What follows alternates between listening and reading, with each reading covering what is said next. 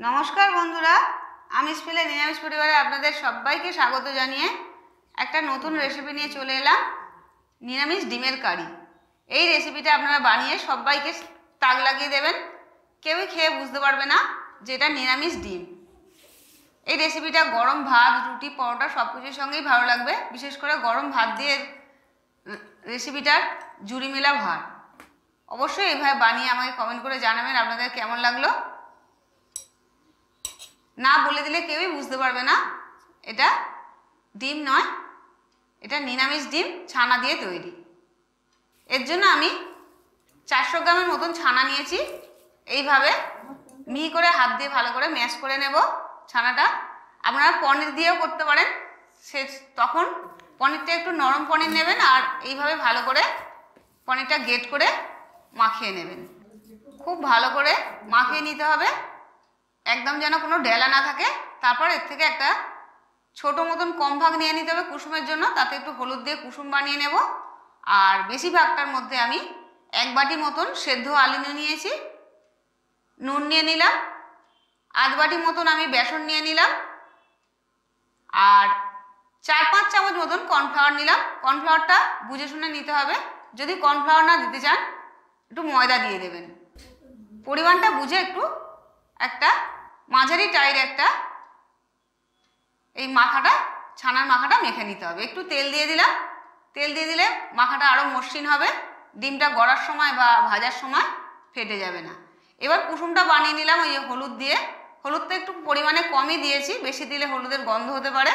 হলুদটা দিয়ে একটু ভালো করে মাখিয়ে নিয়ে এক চামচ মতন সাদা তেল দিয়ে দিলাম। দিয়ে আরও ভালো করে মাখিয়ে নিয়ে হাতে একটু তেল দিয়ে কুসুমটা আমি ছোট ছোট গোল গোল করে বানিয়ে নেব। এইভাবে কুসুমটা বানিয়ে নিয়ে হাতের সাহায্যে ভালো করে গোল পাকিয়ে নেব। এইভাবে সমস্ত কুসুম আমি বানিয়ে নিলাম। এবার ডিমগুলোও বানিয়ে নেব। ডিমগুলো থেকেও এরকম আমি সাতটা ভাগ করে নিয়েছি। এই সাইজে ডিমটা আমি করব। এবার ডিমগুলো আপনারা নিজেদের মতন, পছন্দ মতন করে গড়ে নেবেন। আমি এইভাবে মোটামুটি এইভাবে গড়েছি। খুব ভালো হয়নি রাজহাঁসের ডিম মতন হয়ে গেছে। এভাবে প্রথমে যেভাবে আপনারা আটা ময়দার ভেতরে পুর দেন, লুচি পরোটা বা অন্য কিছু করলে রাধাবল্লভী কচুরি করলে যেভাবে পুর দেন, ঠিক সেইভাবে কুসুমটা ছানার মধ্যে দিয়ে দিতে হবে, ছানার মাখার মধ্যে দিয়ে এইভাবে ভালো করে প্রথমে এইভাবে গোল্লা পাকিয়ে নেবেন।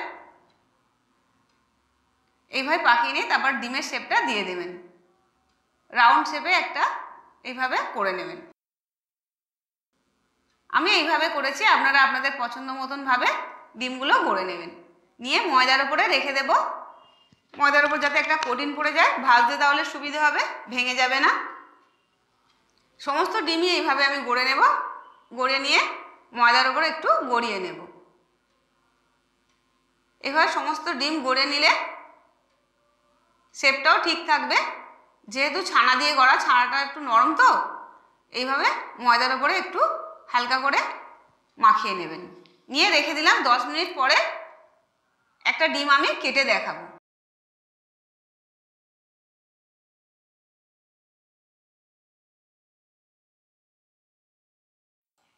একটা ডিম কেটে দেখাবো, যার জন্য আমি একটু সাদা সুতো নিয়ে নিয়েছি।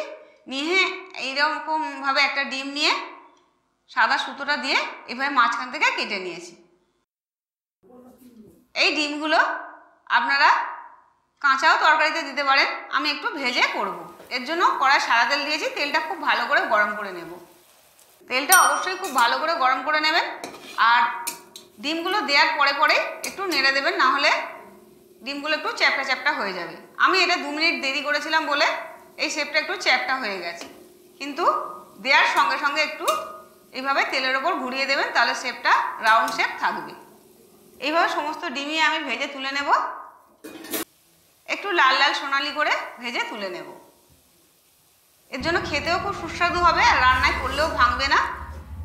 যাতে দেখলে কেউ না বুঝতে পারে যে এটা অরিজিনাল ডিম না নিরামিষ ডিম। ওই তেলের মধ্যেই আমি হাফ চামচ জিরে আর এক চামচের কাঁচা লঙ্কা কুচি দিয়ে দিলাম। একটা তেজপাতা ছিঁড়ে দিয়ে দিলাম। দিয়ে ভালো করে মশলাটা ভেজে নেব। এবার এক চামচ জিরে বাটা দিলাম, এক চামচ ধনে বাটা দিলাম, দিয়ে কাঁচা মশলাটা একটু কষিয়ে নেব পরিমাণ মতন হলুদ দিয়ে।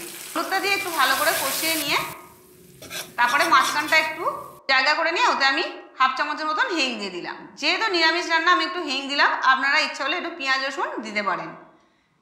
এক চামচের মতন চিনি দিয়ে দিলাম, আর একটা টমেটো কুচিয়ে রেখেছিলাম টমেটোটা দিয়ে দিলাম। একটু আদা বাটা দিয়ে দিলাম, এক চামচের মতন আর কাশ্মীরি লঙ্কা পুরো এক চামচের মতন দিয়ে দিলাম। দিয়ে সমস্ত মশলা আমি ভালো করে অল্প একটু জল দিয়ে কষিয়ে নেব। পরিমাণ মতো নুনটা দিয়ে দিলাম। দিয়ে আরও মিনিট দুয়েক ভালো করে কষিয়ে নেব, একটু জল দিয়ে, যাতে মশলাটা না বসে যায়। এবার মশলা কষে, কষিয়ে এক চামচ লঙ্কা বাটা দিয়ে দিলাম। দিয়ে যখন দেখব তেল ভেসে উঠেছে, ভেজে ভেজে, তারপরে এতে আমি পরিমাণ মতন জল ব্যবহার করব।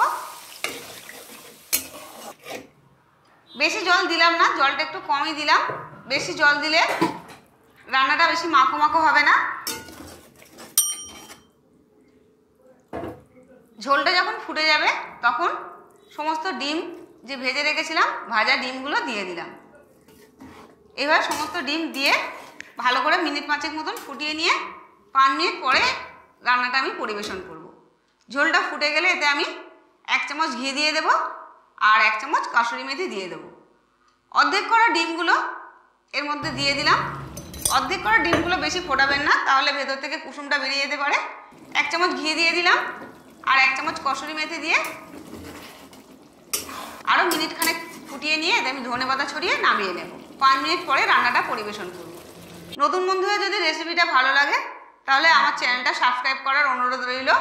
আর পুরনো বন্ধুদের অসংখ্য ধন্যবাদ। পাশে থেকে আমাকে সাপোর্ট করার জন্য। রান্নাটা পরিবেশন করে দিয়েছি। দেখুন কেমন হয়েছে। আপনারা অবশ্যই এইভাবে বানিয়ে আমাকে কমেন্ট করে জানাবেন। না বলে দিলে কেউ বুঝতেই পারবে না। সত্যি এগুলো ডিম না নিরামিষ ডিম? এই রান্নাটা করলে দেখবেন সবাই আপনার তারিফ করবে। আপনারাও বারবার এই রান্নাটা করতে ইচ্ছা করবে। বাচ্চাদের এইভাবে অর্ধেক করেও পরিবেশন করতে পারেন। কিংবা গোটা ডিমই পরিবেশন করতে পারে? খেতে খুবই সুস্বাদু হয়। অবশ্যই এভাবে বানিয়ে আমাকে কমেন্ট করে জানাবেন। ভালো লাগলে লাইক শেয়ার করবেন। সুস্থ থাকবেন, ভালো থাকবেন। আবার ফিরে আসবে এরকম নতুন নতুন রেসিপি নিয়ে। নমস্কার।